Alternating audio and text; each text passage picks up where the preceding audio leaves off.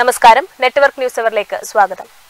പയ്യന്നൂരിൽ യുവതി ആത്മഹത്യ ചെയ്ത സംഭവത്തിൽ ഭർത്താവിന്റെ മാതാപിതാക്കളെ പ്രതിചേർത്തു. ഗാർഹിക പീഡനത്തിനും ആത്മഹത്യാ പ്രേരണയ്ക്കുമാണ് കേസ്. കോറോത്തെ കെ വി സുനിഷ ആത്മഹത്യ ചെയ്ത കേസിൽ ഭർത്താവ് വെള്ളൂർ ചേനോത്തെ കിഴക്കേപുരിയിൽ വിജീഷിന്റെ പിതാവ് പി രവീന്ദ്രനെയും മാതാവ് കെ പി പൊന്നുവിനെയും അന്വേഷക സംഘം പ്രതിചേർത്തു. ഗാർഹിക പീഡനത്തിനും ആത്മഹത്യാ പ്രേരണയ്ക്കുമാണ് കേസ്. കഴിഞ്ഞ മാസം ഇരുപത്തിയൊൻപതിന് വൈകിട്ടാണ് ഭർത്തൃവീട്ടിലെ കുളിമുറിയിൽ സുനിഷയെ തൂങ്ങിമരിച്ച നിലയിൽ കണ്ടെത്തിയത്. ഭർത്താവിന്റെ വീട്ടിലെ പീഡനമാണ് ആത്മഹത്യയ്ക്ക് കാരണമെന്ന് സുനേഷയുടെ ബന്ധുക്കൾ ആരോപിച്ചിരുന്നു. ഇരുവരും തമ്മിലുള്ള ശബ്ദ സന്ദേശവും പുറത്തുവിട്ടിരുന്നു. സഹോദരനെയും ബന്ധുക്കളെയും ചോദ്യം ചെയ്ത പോലീസ് സുനീഷയുടെയും വിജീഷിന്റെയും മൊബൈൽ ഫോൺ കസ്റ്റഡിയിലെടുത്തിരുന്നു. വിജീഷിന്റെ അമ്മ കോവിഡ് പോസിറ്റീവായി കണ്ണൂർ മെഡിക്കൽ കോളേജിലും അച്ഛൻ വീട്ടിൽ സമ്പർക്ക വിലക്കിലുമാണ്. അമ്മ ഇപ്പം തോന്നുന്നു കോവിഡ് അച്ഛൻ ക്വാറന്റൈനിലാണ്.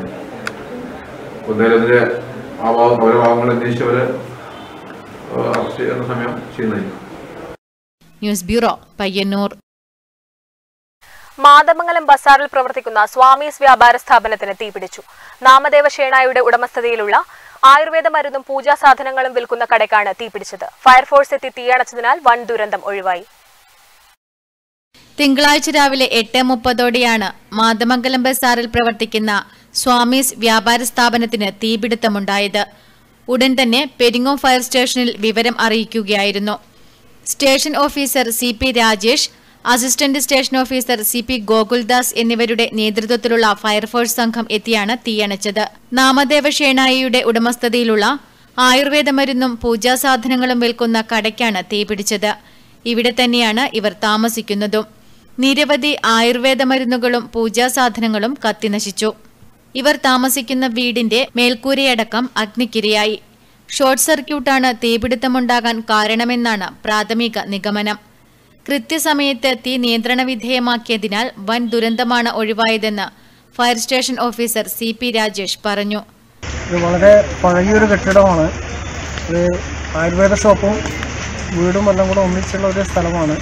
കാലപ്പഴക്കത്താൽ അതിന്റെ വയറിങ് റീവയറിംഗ് ഒന്നും ചെയ്തിട്ടുണ്ടായിരുന്നില്ല. അതിന്റെ ഷോർട്ട് സർക്യൂട്ടാണ് മുകൾ ഭാഗത്തുണ്ടായത് എന്നാണ് നമ്മൾ അനുമാനിക്കപ്പെടുന്നത്. അതിന് കുറച്ച് രൂപയുടെ നഷ്ടം എന്തായാലും പറ്റിയിട്ടുണ്ട് ഇവിടെ. ഇവിടുന്ന് മരത്തിലെല്ലാം കത്തിപ്പോയി. അതുപോലെ മറ്റ് ഡോക്യുമെന്റ്സ് മറ്റ് പൈസകളൊക്കെ കത്തിയിട്ടുണ്ട്. അപ്പോൾ എത്രയാണെന്നുള്ളത് കൃത്യപ്പെട്ട ശേഷം അറിയാൻ പറ്റും. പെരിങ്ങോത്തു നിന്നും പയ്യന്നൂരിൽ നിന്നും എത്തിയ ഫയർഫോഴ്സ് യൂണിറ്റും പോലീസും നാട്ടുകാരും ചേർന്ന് ഏറെ നേരത്തെ ശ്രമത്തിനൊടുവിലാണ് തീയണച്ചത്. വിൽപ്പന വസ്തുക്കളും വീട്ടുപകരണങ്ങളും അടക്കം ഏകദേശം അഞ്ചു ലക്ഷം രൂപയുടെ നാശനഷ്ടം കണക്കാക്കുന്നു. വിവരം അറിഞ്ഞ് Payyannur M L A T A Madhusoodanan സ്ഥലത്തെത്തി സ്ഥിതിഗതികൾ വിലയിരുത്തി. ന്യൂസ് ബ്യൂറോ പിലാത്ര. വാഹനാപകട മേഖലയായി ദേശീയപാത പയ്യന്നൂർ കണ്ടോത്ത് മുതൽ കോത്തായ്മുക്ക് വരെയുള്ള ഭാഗമാണ് വാഹനബാഹുല്യം കൊണ്ടും അലക്ഷ്യമായ ഡ്രൈവിംഗ് കൊണ്ടും ദുരന്തപാതയായി തീർന്നിരിക്കുന്നത്. വേഗത എന്നത് ഹരമായി കൊണ്ടു നടക്കുന്നവരാണ് വാഹനങ്ങൾ ഉപയോഗിക്കുന്ന ഭൂരിഭാഗം പേരും. തടസ്സങ്ങളില്ലാതെ യാത്ര ചെയ്യാൻ ഉടവുകളേതുമില്ലാത്ത റോഡുകൾ കൂടി ലഭിക്കുമ്പോൾ രണ്ടും മൂന്നും നാലും ചക്രമുള്ള വാഹനങ്ങൾക്ക് വായുവേഗം നൽകുന്നവർ എത്തിപ്പെടുന്നത് ദുരന്തത്തിലേക്കാണ്. എല്ലാം കഴിഞ്ഞ് അപകടത്തിന് കാരണമായി ചൂണ്ടിക്കാട്ടുക റോഡിന്റെ അശാസ്ത്രീയതയും പിന്നെ അധികൃതരെ പഴിചാരലും. ഗതാഗത നിയമങ്ങളും നിയന്ത്രണങ്ങളും കുറ്റമറ്റതല്ല. കുറ്റം പറയാൻ ഗുണനിലവാരമില്ലാത്ത റോഡുകളല്ല ഇന്നുള്ളത് അതുകൊണ്ടുതന്നെ ഭൂരിഭാഗം അപകടങ്ങൾക്കും കാരണം അമിതവേഗവും അശ്രദ്ധയും മാത്രമാണ്. ദേശീയപാതയിൽ പയ്യന്നൂർ പെരുമ്പ മുതൽ കണ്ടോത്ത് കോത്തായിമുക്ക് വരെയുള്ള ഭാഗങ്ങളിൽ ഒരു മാസം ചുരുങ്ങിയത് ഇരുപത്തിയഞ്ചോളം വാഹനാപകടങ്ങളാണ് നടക്കാറ്. ഇതിൽ കൂടുതലും നടന്നത് കണ്ടോത്തിനും കോത്തായ്മുക്കിനും ഇടയിലാണ്. ഗതാഗത നിയമങ്ങൾക്ക് പുല്ലുവില നൽകിയാണ് ഇവിടങ്ങളിലൂടെ വാഹനങ്ങൾ കടന്നുപോകുന്നത്. ചെറുപുഴ ഭാഗത്തു നിന്നും തിരക്കേറിയ ദേശീയപാതയിലേക്ക് അമിതവേഗതയിൽ അലക്ഷ്യമായി എത്തുന്ന വാഹനങ്ങളും ഇവിടങ്ങളിലെ അപകടങ്ങൾക്ക് കാരണമാകാറുണ്ട്. അപകടങ്ങൾ കുറയ്ക്കാൻ ദേശീയപാതയിൽ കോത്തായ്മുക്കിൽ ക്യാമറകൾ സ്ഥാപിക്കണമെന്നാണ് ചിലരുടെ അഭിപ്രായം. പത്തിരുപത്തഞ്ച് ആക്സിഡന്റിന് മേ മുകളിൽ സംഭവിച്ചിട്ടുണ്ട്. അപ്പോൾ ഇത് ഒരു പരിധിവരെ അധികൃതർ തന്നെ കുറ്റം പറയാൻ പറ്റും. ജനങ്ങൾക്ക് അമിതമായിട്ടുള്ളൊരു സ്വാതന്ത്ര്യമാണ് ഇവിടെ അനുഭവിക്കുന്നത്. എത്ര വേഗത എടുത്താലും അത് നിയന്ത്രിക്കാനായിട്ട് യാതൊന്നുമില്ല. ഒരു സ്പീഡ് ബ്രേക്കർ ഇല്ല. പിന്നെ ഹൈവേയിൽ സ്പീഡ് ബ്രേക്കർ ഇല്ല എന്നുള്ളൊരു നിയമമാണ്.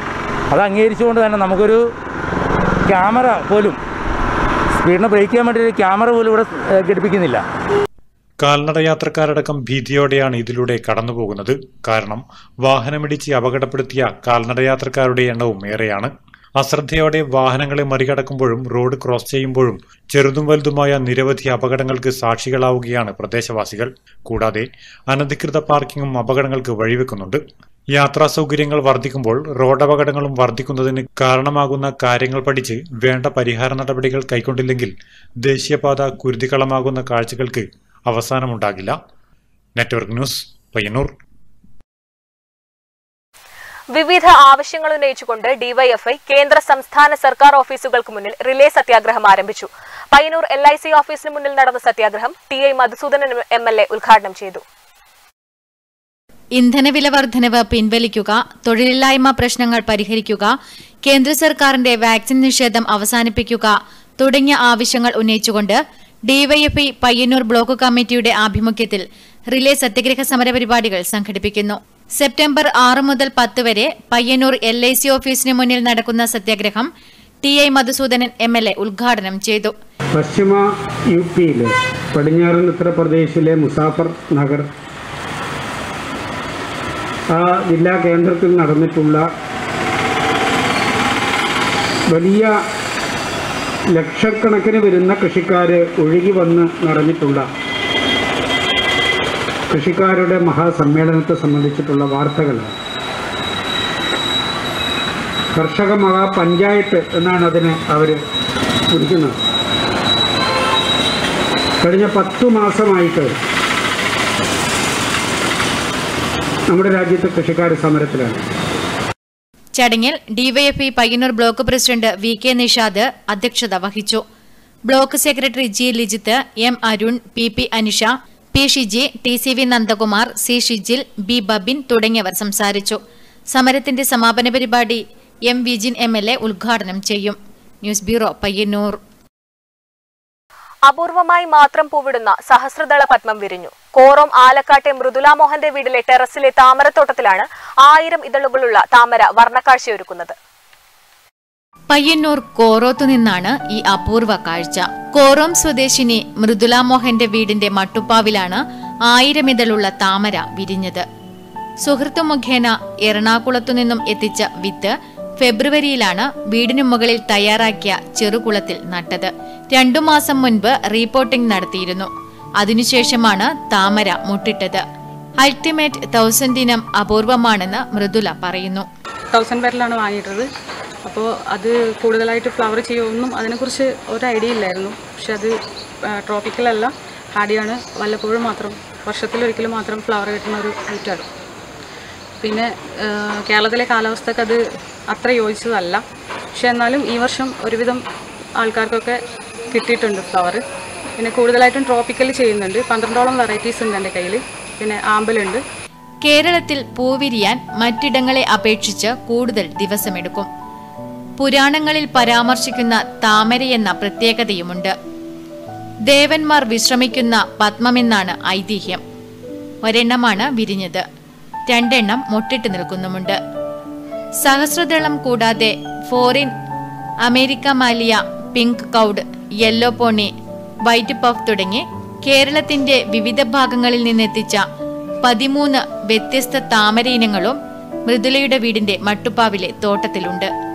വർണക്കാഴ്ച നിറയുന്ന മൃദുലയുടെ താമരത്തോട്ടത്തിന് അഴകായി മാറുകയാണ് ആയിരമിതളുള്ള താമര വിസ്മയം ന്യൂസ് ബ്യൂറോ പയ്യന്നൂർ. വിവിധ ആവശ്യങ്ങൾ ഉന്നയിച്ച് സംസ്ഥാന വഴിയോര കച്ചവട തൊഴിലാളി ഫെഡറേഷന്റെ നേതൃത്വത്തിൽ പയ്യന്നൂർ താലൂക്ക് ഓഫീസിന് മുന്നിൽ പ്രതിഷേധ സമരം നടത്തി. സി ഐ ടി യു ജില്ലാ സെക്രട്ടറി പി വി കുഞ്ഞപ്പൻ ഉദ്ഘാടനം ചെയ്തു. വഴിയോര കച്ചവട ഉപജീവന സംരക്ഷണ നിയന്ത്രണ നിയമം നടപ്പിലാക്കുക വഴിയോര കച്ചവടക്കാരുടെ തൊഴിൽ ചെയ്യാനുള്ള അവകാശം നിഷേധിക്കരുത്. വഴിയോര കച്ചവടക്കാരെ ജീവിക്കാൻ അനുവദിക്കുക. അന്യായമായ ഒഴിപ്പിക്കൽ നടപടികൾ അവസാനിപ്പിക്കുക. സർവേ നടപടികളിലെ അപാകതകൾ പരിഹരിക്കുക. മുഴുവൻ തൊഴിലാളികൾക്കും ലൈസൻസ് നൽകുക തുടങ്ങിയ ആവശ്യങ്ങൾ ഉന്നയിച്ചുകൊണ്ടാണ് സംസ്ഥാന വഴിയോര കച്ചവട തൊഴിലാളി ഫെഡറേഷൻ സി ഐ ടുവിന്റെ നേതൃത്വത്തിൽ പയ്യന്നൂർ താലൂക്ക് ഓഫീസിനു മുന്നിൽ പ്രതിഷേധ സമരം നടത്തിയത്. സി ഐ ടി യു ജില്ലാ സെക്രട്ടറി പി വി കുഞ്ഞപ്പൻ പ്രതിഷേധ സമരം ഉദ്ഘാടനം ചെയ്തു. ഈ തൊഴിലാളികൾക്ക് സംരക്ഷണം വേണം. അവർക്ക് ജോലി ചെയ്യുന്നതിന് നിലയിലുള്ള സാഹചര്യം ഉണ്ടാകണം. ഈ ആവശ്യം ഉന്നയിച്ചുകൊണ്ട് ഒട്ടനവധി പ്രക്ഷോഭങ്ങളും സമരങ്ങളും ഒക്കെ നടത്തിയതിന്റെ ഫലമായിട്ടാണ് കേന്ദ്ര ഗവൺമെന്റും സംസ്ഥാന ഗവൺമെന്റും ഈ തൊഴിലാളികളെ സംരക്ഷിക്കുന്നതിന് വേണ്ടി ചില നിയമങ്ങൾ കൊണ്ടുവന്നത്. വി കെ ബാബുരാജ് അധ്യക്ഷത വഹിച്ചു. N Krishnan Suresh K K Krishnan എന്നിവർ സംസാരിച്ചു. News bureau Payyannur.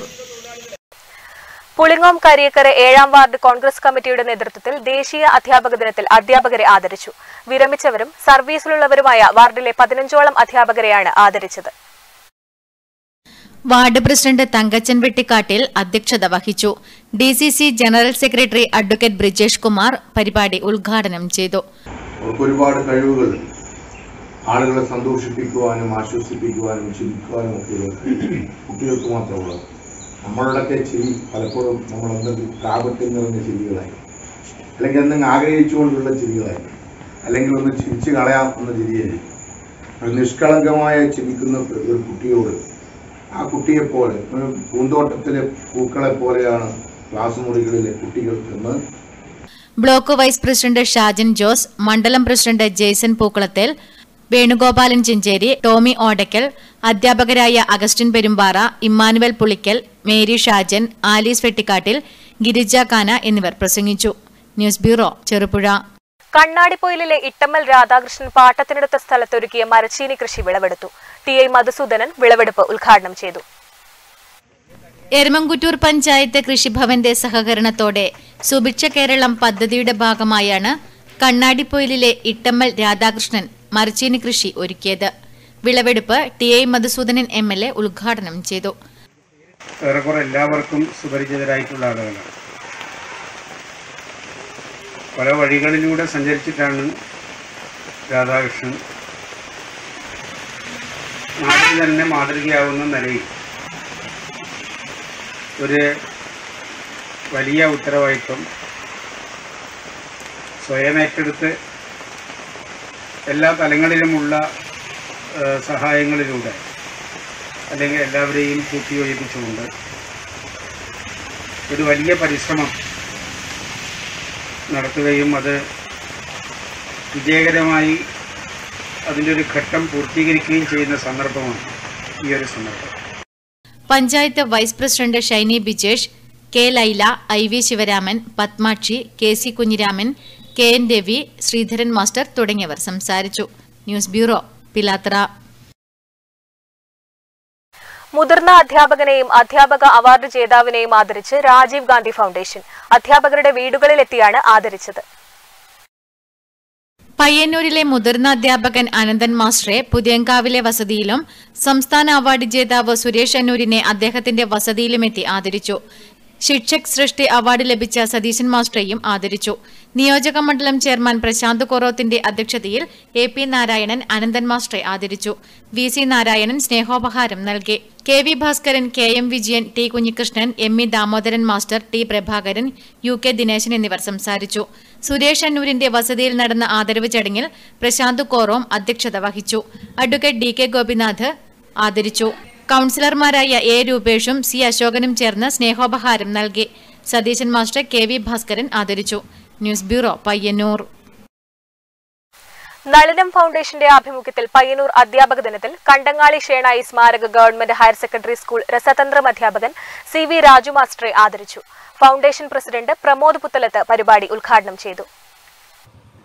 പയ്യന്നൂരിലെ വിദ്യാഭ്യാസ ഗ്രന്ഥശാല ജീവകാരുണ്യ പ്രവർത്തനങ്ങളിൽ സജീവമായ നളിനം ഫൗണ്ടേഷൻ ഏർപ്പെടുത്തിയ അധ്യാപക പുരസ്കാരത്തിന് കണ്ടങ്ങാളി ഷേണായി സ്മാരക ഗവൺമെന്റ് ഹയർ സെക്കൻഡറി സ്കൂൾ രസതന്ത്ര വിഭാഗം അധ്യാപകൻ സി വി രാജു അർഹനായി. നളിനം ഫൗണ്ടേഷൻ പ്രസിഡന്റ് പ്രമോദ് പുത്തലത്ത് പരിപാടി ഉദ്ഘാടനം ചെയ്തു. Secretary P P Devaki Praveena Pramod Vinod C M Prasanth S എന്നിവർ സംസാരിച്ചു. ഈ വർഷത്തെ പ്ലസ് ടു കെമിസ്ട്രി റിസൾട്ടിൽ സംസ്ഥാനത്ത് ഗവൺമെന്റ് സ്കൂളുകളിൽ ഒന്നാം സ്ഥാനത്ത് രാജമാഷിന്റെ വിദ്യാർത്ഥികളായിരുന്നു. News bureau Payyannur. Network news അവർ പൂർണമാവുന്നു. നമസ്കാരം.